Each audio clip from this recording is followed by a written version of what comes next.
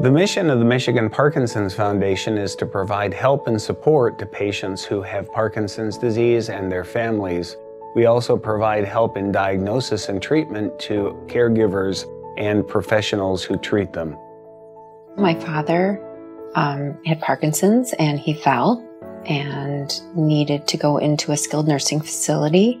And so we called the Michigan Parkinson's Foundation after we realized that we just couldn't do it ourselves. Respite care is the opportunity for a family caregiver to receive a break in their caregiving responsibilities. And we provide grant funding for our families to receive in home personal care for their loved one. We've done a lot through the Michigan Parkinson's Foundation to aid legal issues uh, that Parkinson's individuals face. Then we're here to help them consult, generally without charging, to guide them and transition them from working to going on disability in an expedited fashion. Exercise classes offered by the Michigan Parkinson's Foundation include yoga and what's called power.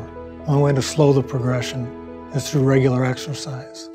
So I was keen to that. It helps me with my balance, my tremor, my sleep cycle, helps me manage my symptoms.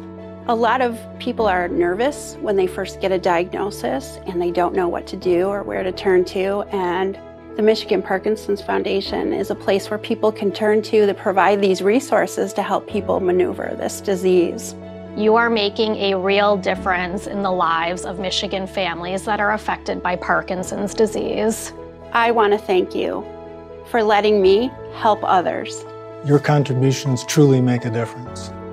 We could not have gotten through some of the hardest times of our lives without you and the Michigan Parkinson's Foundation.